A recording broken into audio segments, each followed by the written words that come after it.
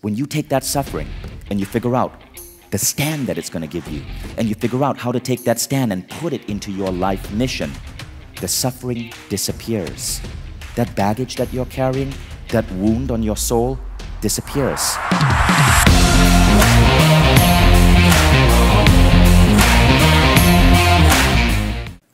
This is the second biggest gathering we've had. The last biggest gathering was in Tallinn, Estonia. We had, and, and this one was insane. How many of you were there? Tallinn, Estonia. So we had 1,100 people. This was an experiment. 1,100 people moved to a city for one month with their families. And we created basically our own community within the city took over the biggest conference center, brought in around 100 different teachers, tossed the biggest parties in the city, had some of the most prominent people in Estonia take the stage from rock stars to the woman who is about to become prime minister. She just won the election. And we created this huge personal growth community for a month. It, it started because of the daringness of the people in the Mindvalley community. I mean, how many people decide that they want to break this idea that you stay rooted in one place for the rest of your life? And these people decided that they want to spend one month every year with their kids in a completely different city and see the world. So, so grateful that we have you guys who want to go beyond just learning online and are actually taking really bold steps to come together, connect in community, in growth and in that process make ourselves better and better so that we can do our best job for the world. So anyway, thank you guys for coming all the way here. We have a quarter million students on our Mindvalley online programs. We have 2,000, 2,000 of our most active students, including you guys, who show up in the real world, and you guys are our best students. So please give yourselves a round of applause. So I like I like to start reunion with just my own feelings on personal growth and, and, share with you what I learned over the last one year. As Mia said, I like to travel, meet interesting people, and then connect with them, understand what processes they're going through, their way of seeing the world, their methodologies for healing or growth, integrate that within my life. Some work, some don't work, and those that work, I like to bring it back to the world and magnify and in this last year, I've been meditating on two rules. I really wanted to figure out if I could sit my son down and explain to Hayden what are the two overriding philosophies that are going to make him truly live life. I'm not talking about success. I think that's a BS term that our education systems tell us we should chase at the expense of everything else. I'm talking about just being human, living life. And I find that these two rules are the ones that I feel most drawn to. Now, before I get to the two rules, you must understand this really key idea.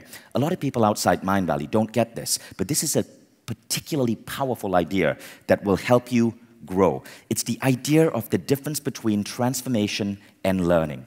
So, that, can you guys guess which kid is me in that picture?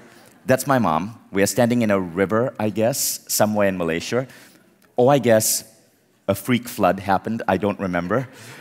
Um, I'm the kid in blue. The rest, I don't have any brothers or sisters, so the rest are my cousins. So my mom was a public school teacher in Malaysia. She was actually the best English teacher in Malaysia, which is why I speak English, unlike most Malaysians, um, with, with a, a, more international accent. So I was really, really grateful to have a mom who was a public school teacher because she instilled in me the love for learning. And I did well as a student. I would go to school, I would get good grades. Having a mom as a teacher meant you could not slack on your homework.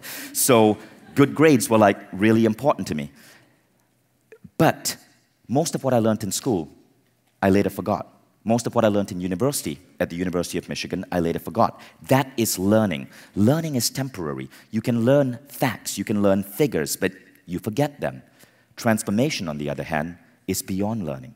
Transformation is what is missing from our education system. Transformation is the idea that you start seeing the world in a radically different way. Transformation is going from the beliefs of your religion or your culture or the beliefs instilled in you by your parents and then realizing that there are other ways of viewing the world. And the unique thing about transformation is that once your mind expands, it can never again shrink to its original size. Once you understand that aging is optional. You can never again go back to the old you. Once you understand that you can succeed in life through love and compassion, you can never again go back to greed. Once you understand that love can be painful, but it's part of the journey and it's one of the most fulfilling things a human being can experience, you never again fear relationships.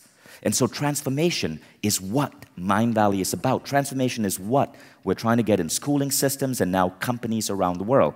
And so, thanks to this community that has been so engrossed in transformation, going through our programs on the Mindvalley app, we're slowly, through you guys, being pulled in different businesses and companies. A couple of Mindvalley reunion students last year from Finland pulled us into schools in Finland. So some 700, 200 to 700 Finnish students took Jim Kwik's quest. And we found that six months later, 80% of them saw their, a persistent grade increase. Thanks to other people in this room, we got invited to speak at Google we just got invited to speak at Microsoft and to bring our programs into these companies. And what we're really trying to do here is patch that gap in the education system that emphasized learning and standardized testing and certificates rather than truly teaching us how to see the world in a unique way. So you got to understand schools can teach you biology, but they can't teach you to basically live to be 150 by slowing down aging. Schools can teach you, they can teach you values in some way, but they can't teach you to truly tap into your spiritual core. And really, that is what we are seeking to do at this event and through the Mindvalley system. So, how do you spark transformation? The funny thing is this, right? Transformation is initiated by two things. So, for most people in the world, transformation comes through cause number one, a disorienting dilemma which means bam, life comes and hits you. You go bankrupt, but through that, you learn what to do to make your next business successful. You end up in hospital, but through that, you learn how to take better care of your health. That is transformation through pain. But there's also transformation through what is called gradual accumulation of evolving meaning schema. And that sounds so boring, but it basically means this. You start seeing the world in a new way because of the people you meet, because of the books you read. Autobiographies, um, curated communities like this spark the second type of transformation. It's slower. It's slower, but it's a lot more beautiful. It's a lot more joyous. Now, the problem, though, is that both these forms of transformation don't happen at a rapid pace. Most people go through suffering to transform. And most people, their evolving meaning schema, their visions, their worldviews evolve very, very, very slowly because they are stuck with the same community. They are stuck in that same city. So, here's what it looks like when you put it together. First, the disorienting dilemma, right? The Rumi said, Wound is the place where the light enters. And I love that quote. The disorienting dilemma is what all of us experience in our life that forces us to growth. Rumi also said, You who cannot take a good rub, how will you ever become a polished gem? Isn't that beautiful?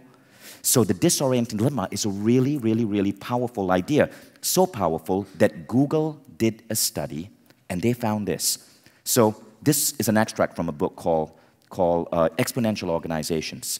Google, and it says, Google recently demonstrated that its best employees were not Ivy League students, but rather young people who had experienced a big loss in their lives and had been able to transform that experience into growth. According to Google, deep personal loss has resulted in employees who are more humble and open to listening and learning. That's crazy, right? Google literally found that when you go, that their employees who are the best employees are ones who have gone through some form of suffering. How many of you here can recognize that idea of suffering because you've gone through it and you've emerged from that fire as a better person? So, congratulations. Turns out it's part of life. And now you're eligible for Google. so, the, the second thing is evolve meaning schema over time. So, evolved meaning schema over time is what personal growth is about. Evolved meaning schema over time means that we are engaged in this process of growing and, and, and evolving ourselves. But when you put them both together, for the average person, transformation is unpredictable and slow because we have to wait for that suffering. Or it's slow because we are developing this evolved meaning schema in a slow accumulation over time. Our goal is to accelerate that, to get you guys to make that leap. That's why you're here. That's what this event is about. It's about making a rapid leap into transformation. So, what I want to share with you are these two rules. But to understand these rules, we must give you a roadmap. Roadmaps are really beautiful because they show you how to get to where you want to go faster. And the roadmap we're going to use is this idea from Abraham Maslow. Any of you guys familiar with this? So, Maslow created this pyramid called the Pyramid of Human Needs. And the yellow line points to love and belonging. All of us need love and belonging. We need our tribes, we need our societies, we need our family, we need to feel like we are part of something bigger. But once you have that fulfilled, once you are no longer lonely, your needs evolve. The next need that we go to is esteem. Esteem is really interesting. Esteem is what our education system is educating us to do. Esteem is when you care about your career progression, you care about that fancy car, you care about recognition from your boss, you care about having looking really good in Lululemon yoga pants. That's esteem. Now, the funny thing is, most people, because our society hardwires into this, most people, when they go through personal growth, it is esteem that they are looking for. But here's the thing when you start going deeper and deeper and deeper into personal growth, it's no longer about your yoga ass or your promotion or about the recognition. You get to something called self actualization. This is where the magic happens. Self actualization is the idea that you grow for the sake of growth. It is your growth that motivates you, not external validation. This is where we want to take people. This is where you want to take your children. Not growing for someone else's opinion, growing because as a soul, you know that, you know that the human experience is here. We are here in human bodies to learn and to grow. But there's a level above this. So the funny thing is, when Abraham Maslow first published the pyramid, he stopped at self actualization. Later, he went back to his work and said he missed a level. And that level is what we call self transcendence. Self transcendence, I want you to take a moment and try to guess what you think this is. Okay? Self transcendence is the idea that you go beyond yourself, that your growth is important, yes, but you're going to use that growth you're going to use that fit body, that incredible mind, those connections you have, that powerful cognitive ability to put together ideas, to go forth and fix the world. Self transcendence is a really powerful idea. It means that we are not here just to be our best selves. We are here to be our best selves and fix the world. Fix the world around you so that our children inherit a better world than what we did.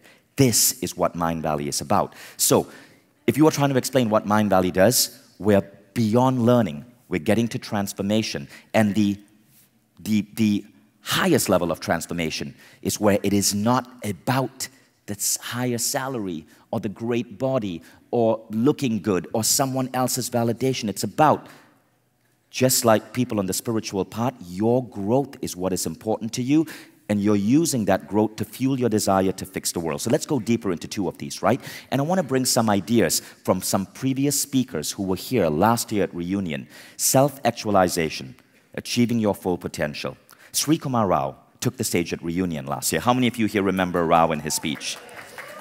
So after that speech, Rao got off the stage. He went back there where, where I was sitting and he said, Vishen, so love this community. And I'm so glad at what you guys are doing because MBA programs suck.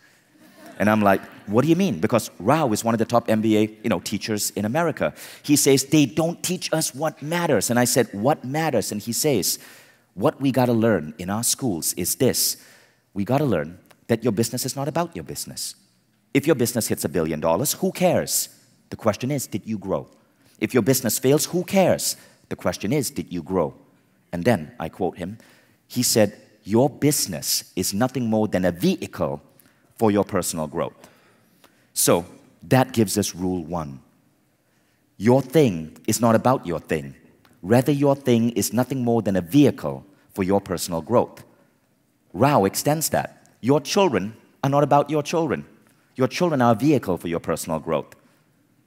Your relationship and your marriage is not about your relationship and your marriage, it's about your personal growth. And your business and your career is about your personal growth. Rule one liberates you. Rule one makes you realize that failure is fine because what is failure? Suffering. And what does suffering do? It makes you freaking awesome. so when you embrace rule one, when you embrace rule one, you never forget who you truly are a soul here on a learning opportunity. And we learn through success and we learn through failure. Rule one is the essence of self actualization. So I want to teach you a word rose, your rate of self evolution. I love that word rose because I just finished watching The Little Prince on Netflix. Anyone seen that? Or read the book? So, anyway, Rose is a character in that book. Rose stands for rate of self evolution. This is one of the biggest markers of how good you're going to do at life. If you want to get into a relationship with someone, make sure you find someone who is growing their rose. If you want to raise great kids, make sure you raise kids who are growing their rose. If you want to succeed at life, make sure you're growing your rose. You're growing your rate of self evolution, which means you are spending that time every day to nurture yourself, to heal your body, to meditate, to go to the gym, to learn how to learn, to get better at life, to engage in personal growth, and not just do the nine to five like everyone else. So, write that down, rose, and ask yourself this question every morning How am I going to grow my rose today? Now, the second rule comes from this idea self transcendence. And the second rule also stemmed from a Mindvalley teacher whom you saw on stage last year. His name was Neale Donald Walsch. Any of you guys remember Neale? Reunion last year. I know you guys loved his speech. You, you, you gave him incredible ratings. So that picture was taken at Mindvalley University in Barcelona. Back then it was 300 people, not like 1,100. Neale gave a two day workshop. And somewhere in that workshop, one of you, and that person may even be in the room, I don't know, raised her hand and said, Neale, what do I do if I wake up every day and I just feel sad and I feel depressed and I feel worried? And Neale said, I'm going to give you one word of advice. And what he said then sounded a little bit, it sounded a little bit too, too in your face or too like unsympathetic. He said this He said, I want you to remember that your life is not about you. Rather, your life is about the lives of everyone you touch. When you walk into a room, you don't walk into that room, you walk into that room to heal the room. And when you make your life beyond you, you will stop waking up sad and depressed. That leads us to rule two. Your life is not about you. Rather, your life is about the lives of everyone you touch. So, I want to teach you a little trick that we do in our Mindvalley office. It's called the snapping finger trick. If you agree with any of these philosophies that I'm going to share and integrate, just snap your finger. Okay? Okay, so this, this gives me like a, a auditory clue that I'm on the right track. If you disagree with me, just stay silent about it. just, just critique me in your head, okay? So, rule two your life is not about you, rather, your life is about the lives of everyone you touch. I share these two rules with you because I want everyone in our community to get to self transcendence. Only when we see ourselves in unity can we truly go forth and create a better world. And you're going to find that self transcendence is an underlying theme at everything about Mindvalley and everything about what we do at this conference. This is why you will see that we are bringing Marianne Williamson on stage. I mean, she, she's all about that. She's kicking people's ass to be activists.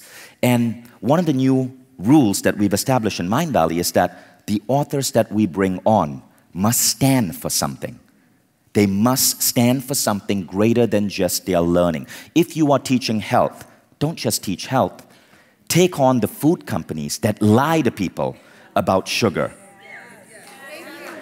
And so, so Anodea Judith, stand up please, Anodea. That's Anodea Judith. So um, Anodea's coming on Mindvalley, and she's the any, anyone, you guys have probably heard of Anodea. Thank you. Um, Anodea, So Anodea is one of the top writers on energy, on, on the human energy body and chakras. And I met her in Sausalito about 18 months ago. And we met in a cafe.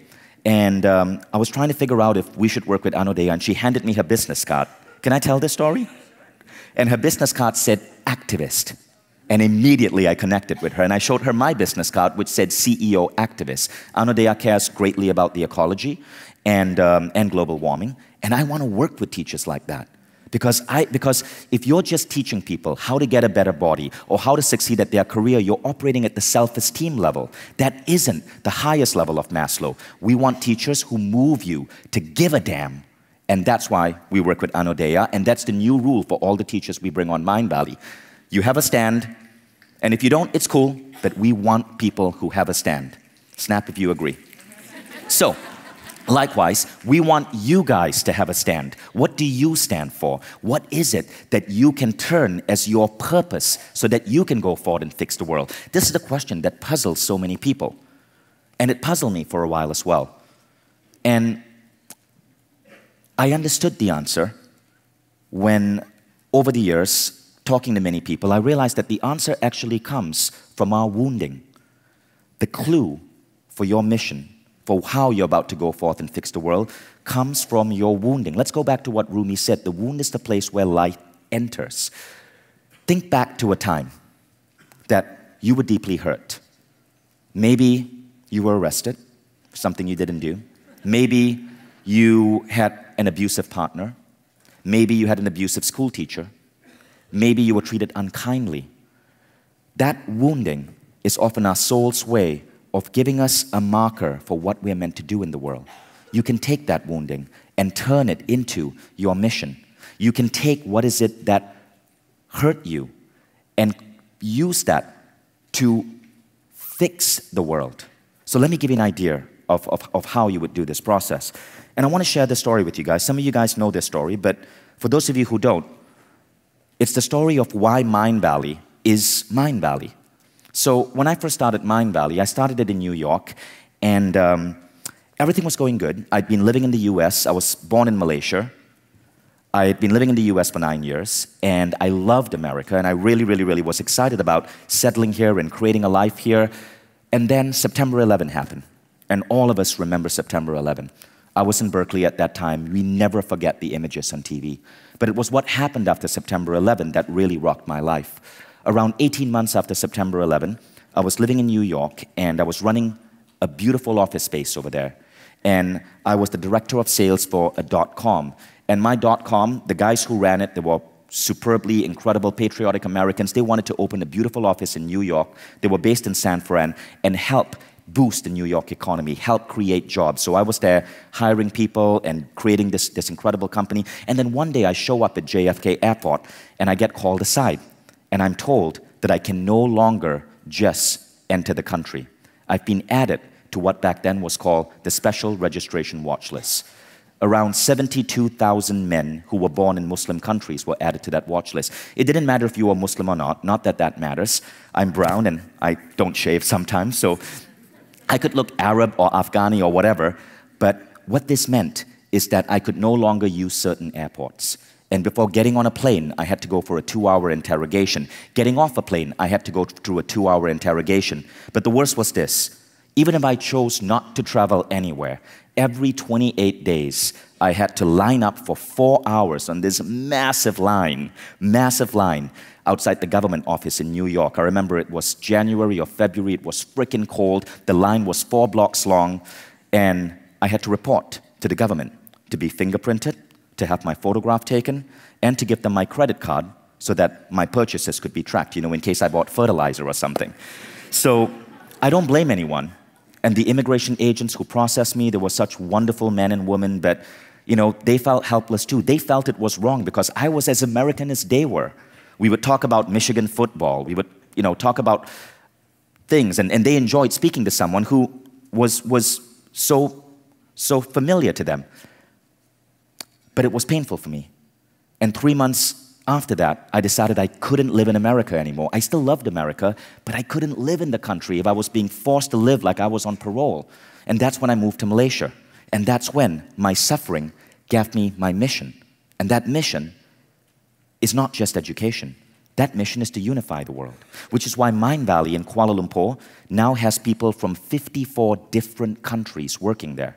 Because I want to create a world where we don't have to put people in boxes based on how they look or their skin color. And, um, and, and I was so pissed off at what happened. I was pissed off at the US government. Now, it, it, only lasted five years. In 2008, President Obama ruled the whole thing unconstitutional and dismantled it. So, thank you, Obama. Trump wants to bring it back, which is why, and, and I disagree with that. Um, I'm not going to vilify someone for having different political beliefs, but I disagree with that. And I disagree with border walls, and I disagree with calling asylum seekers illegals. And part of what we want to do at Mindvalley is help push forth this idea of unity. Again, the suffering leads to a vision. So I want to share with you a video that we released last year when Trump announced the Muslim ban. And many of you have seen this. It's called Stand Up. And this video will help you understand why we do what we do. But we made this video because I went through suffering. And I don't want my daughter growing up in the world where she would ever get labeled or ever get prevented from entering a country because of how she looks. My daughter is half white, half Indian, so she looks Middle Eastern. So I just wouldn't want her on a list. Watch this video.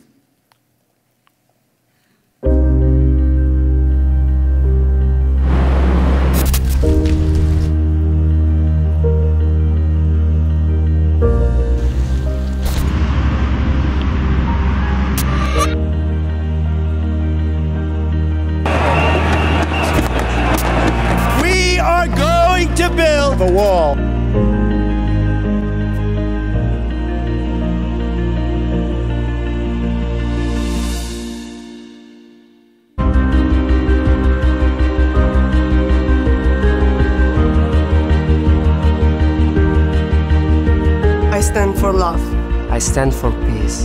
I stand for unity, education, the environment, equality. I stand for refugees.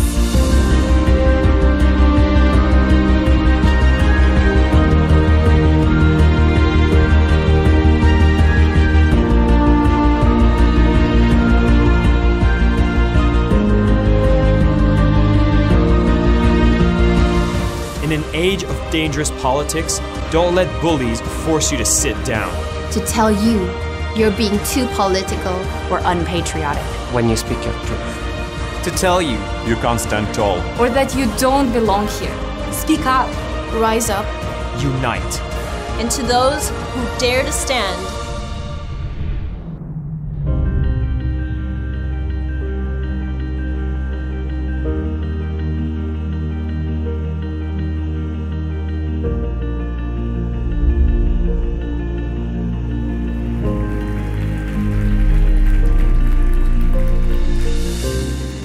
So why do I play that video? I'm not asking you to be political. That video presented, though, a list of things that you could take a stand for. LGBTQ rights, women's rights, refugees, unity, the environment. And remember, you don't have to build a business in that area. We're an education business. But Mindvalley, if you notice, takes a firm stand for human unity in how we hire, in how we present our events, in the fact that everything we do is global. It's human unity. So you can have your business, whether it is in auto mechanics, or it's in engineering, or it's software development, or it's a barber shop, but you can add a layer on it for something that you stand for. And this is one of the best ways to take your suffering and turn it into a superpower so you can rise up to self transcendence. I take a stand for unity because, as I said, my daughter is a, is a beautiful Middle Eastern looking girl. And I want to make sure that she doesn't grow up in a world that's going to vilify her for how she looks. So, one of the things we're seeking to do at Mindvalley, and this is something I'm super excited about. Yeah, we're working on events and great tech, but it's a concept called memetic inoculation. You guys have heard of how we can inoculate people against diseases, right? Science has gotten there. Now, I believe we need to look at how can we inoculate people against dumb ideas. how can we inoculate people? How can we, how can we inoculate people against the BS from the food companies, right? That tell you to eat certain things. The BS from companies like the cola industry that market diet soda. The gal of them to use the word diet when modern science shows that diet soda like basically messes with your gut bacteria and is worse for you than sugar soda. Those of you who are diet cola fans, so, so sorry to ruin your day. How can we take a stand against politicians who use fear to win elections? Because we all know that leaders who lack vision have to win votes through division. How can we take, um, how can we inoculate people against the ideas from the capitalist, consumerist world that tells you to buy, buy, buy things that we don't need? So, memetic inoculation simply means that we want to help get powerful transformational ideas out that act as a force field against dumb ideas. So, for example, when we launched WildFit last year, we also launched a campaign against Nestle. It became the most, the biggest news in Malaysia because Nestle is the single biggest company in Malaysia. We launched a campaign against Nestle because they were lying to the public, offering a drink that was 40% sugar and calling it a health drink and encouraging mothers to give this to their kids twice a day.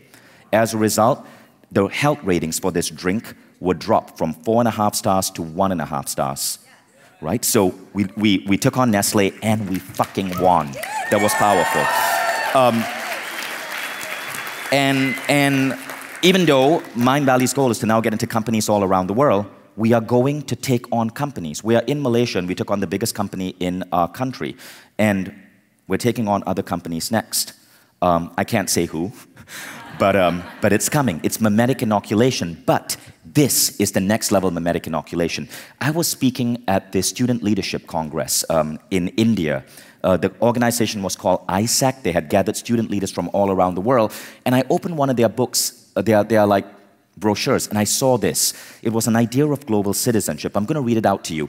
Global, global citizenship typically defines a person who places their identity with a global community above their identity as a citizen of a particular nation or place. The idea is that one's identity transcends geography or political borders, and that planetary human community is interdependent and whole. Humankind is essentially one. I so love that idea. So the next thing that we're aiming for, this is a 20-year goal for Mindvalley, is an idea that we call the Earth flag. And it is the ultimate form of memetic inoculation. Once we create a flag for planet Earth which doesn't exist right now, a flag that when we colonize Mars, this is the flag that should be on the rocket. So an American kid, a Mexican kid, an Afghani kid can look up and go, that's my rocket an Earth flag is missing for planet Earth. It is something that holds us back as a species. And so I went to speak at the UN a couple of months back, and I noticed that at the UN there are all of these other flags. There is no Earth flag. And the Earth flag is a campaign that we're going to launch. We want to create a flag that represents planet Earth. This, interestingly enough, is a form of memetic inoculation. Because once you understand that you are part of something much greater than your country, you give a damn about global warming. And politicians like Trump will lose their power because they rely on the lie of national identity to win votes. So, education is the first thing that we're doing, but our greater cause is to take nationalism and place it firmly into the garbage bin of human history. So, anyway,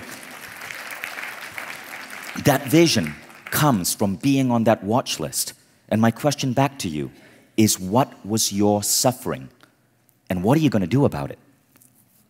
Think about that moment where you were hurt, where you were vilified, where you felt betrayed or lied to, where you were punished unfairly, where you were like stomped and put down. What value are you going to pick up from that? Suffering is the breadcrumbs to your mission, to why you're here. And what is it going to make you stand for? Martin Luther King said this, and this is one of the most powerful quotes because if you don't get this, personal growth becomes about the cute yoga ass and not beyond. Power without love is reckless and abusive. We see this in our political systems all the time. Power without love. And love without power, though, is sentimental and anemic. We see, the, we see this in the spiritual movement. Oh, it's about meditating and being one with my crystal. That's love without power. Power at its best is love implementing the demands of justice, and justice at its best is power correcting everything that stands against love. That's where I, I would love to see you guys play. And the great part is this when you take that suffering and you figure out the stand that it's going to give you, and you figure out how to take that stand and put it into your life mission, the suffering disappears. That baggage that you're carrying, that wound on your soul, disappears. Viktor Frankl pointed this out. Suffering ceases to be suffering at the moment it finds its meaning. So, let's do a quick recap. Rule number one, and this was the rule that Srikumar Rao jolted me into at reunion last year. Your thing is not about your thing. Rather, your thing is nothing more than a vehicle for your personal growth. And that's great. It means you're going to grow your rose. But you got to do something with that. You need to combine that love with a form of power. And that is rule number two. Remember that your life is not about you. Rather, your life is about the lives of everyone you touch.